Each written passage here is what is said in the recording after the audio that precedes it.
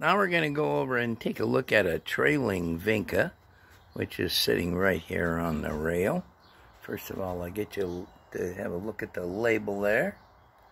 Uh, I think we got that.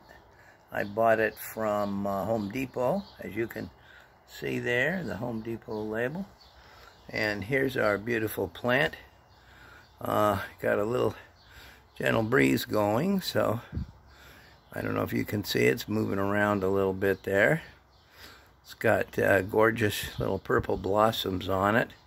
And the unique thing about Vinca is they can take any kind of heat. It's used a lot in Palm Springs around the resorts because there's a lot of heat up there, 110, 115, 117 degrees.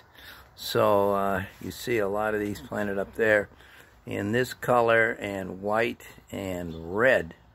Uh, here's another trailing vinca. I think this is a white one. And uh, I pinched all the blossoms off because, of course, it grows a lot better if you pinch all the blossoms off. Here's a here's a new one starting up right here. You can see all these uh, little growths have blossoms and I'm about ready to uh, go like this and see take off there because that will allow that plant to grow a lot faster and I'll do the same thing with this uh, purple vinca in a minute. There's one more vinca over here. Uh, on this end it's uh, right here. This is a white one.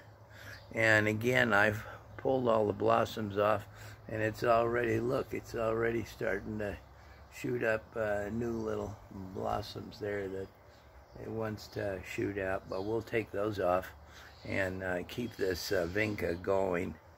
Uh, so anyway, that's the story of the vinca plant. This is a trailing vinca. There's also a bush vinca. And this is Dennis Fletcher saying so long for now.